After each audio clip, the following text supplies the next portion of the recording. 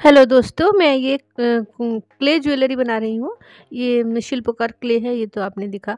और इसको मैंने दो पार्ट करने के लिए मैंने एक गोला बना लिया। और बना के उसको बीच से काटने से बिल्कुल इक्वल दो पार्ट आ जाता है। तो मुझे दो चरण बनाने थे, इसलिए मैंने बीच से काटा ताकि दोनों चरण इक्वल हो। एक थोड़ा छोटा होने से भी प्रॉब्लम नहीं है, लेकिन मैंने कोशिश किया। और ये मैं एक शिव का और एक काली माँ का चरण बनाना चाहती हूँ। तो कुछ सिंबॉलिक ज्वेलरी है और ये बहुत सुंदर मुझे लगा तो मैंने आपके साथ शेयर किया इसलिए। ये जो उंगलियों का पार्ट है पाँव का, ये मैंने चक्कू से थोड़ा थोड़ा निशान लगा के किया। बिल्कुल रियलिस्टिक लग रहा था। आपको पता नहीं देखने में कैमरा में कैसा आ रहा होगा। और ये जो नाखून वाला पार्ट है, वो मैंने एक पेन खाली पेन के उससे मैंने थोड़ा गोला गोला करके आकर दिया है। और ये सामने से देखने से बिल्कुल नाखून लग रहा था। तो आप बाद में देखिएगा, आपको पता चलेगा। और इसको शेप देने के लिए मैंने काफ़ी बार ये टेलकम पाउडर से, ये टाइम लगता है थोड़ा मतलब उंगली से टेलकम पाउडर को बार बार लगा लगा कर मैंने इसको प्लेन किया। ये ये जो ऊपर खबर आ जाता है या कभी कभी थोड़ा थोड़ा निशान आ जाता है क्रैक्स आ जाते हैं, वो कुछ नहीं आता। आप अगर टेलकम पाउडर से करोगे तो। बार बार पॉलिश करना पड़ता है। इसे जो काफ़ी स्मूथ एक बहुत सुंदर दोनों पाँव आए हैं। ईश्वर के चरण हैं, थोड़ा जतन से बनाना पड़ा। और ये काफ़ी सुंदर रियलिस्टिक अब देखिए छोटे छोटे पाँव देखने में अच्छा लगता है। तो ये ये मैंने एक जो मॉर्निंग वाला जो मैसेज आता है, उसी में मैंने, मुझे देखा था, उसी से मुझे आइडिया मिला। तो मैंने सोचा एक मैं बना के देखूँ कैसा लगता है, फिर आपके साथ शेयर करूँ।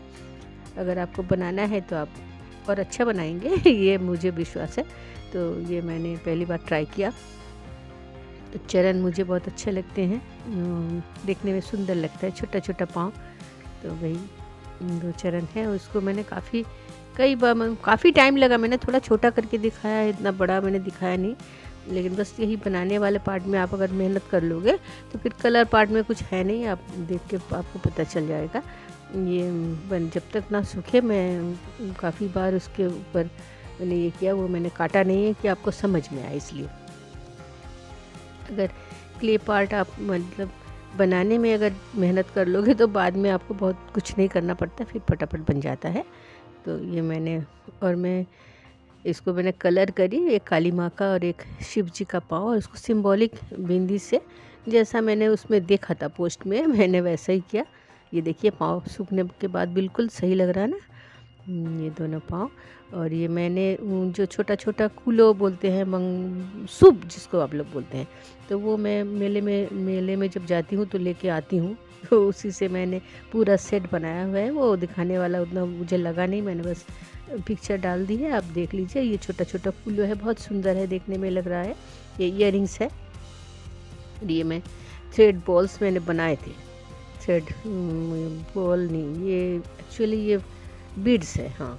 तो बीड्स से मैंने इसको डेकोरेट किया और ये कौड़ी और पीछे ज्वेलरी जो कान में पहनने वाला जो पुश है वो, और ये मैंने काला कार, काला धागा से मैंने इसको गले में पहनने के लिए इसको बनाया है। और ये एक, ये भी एक सूप है और उसके पीछे मैंने थोड़ा सा बैकग्राउंड लगाया, वो भी उसमें ज़्यादा कुछ था नहीं, मैंने इसलिए वो पिक्चर दे दिया, आप देख कर समझ जाओगे। और ये देखिए, इसका फुल लुक